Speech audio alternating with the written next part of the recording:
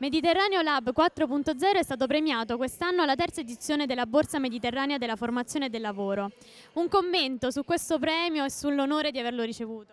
Vabbè, ovvio che fa sempre piacere essere premiati e riconosciuti, tra l'altro in un settore nel quale noi ci candidiamo a diventare leader di mercato, quindi attraverso le nuove tecnologie come la blockchain e l'intelligenza artificiale, cercando di dare una risposta ai lavoratori per certificare su tecnologia blockchain le competenze, le attività lavorative e i benefit di welfare aziendale.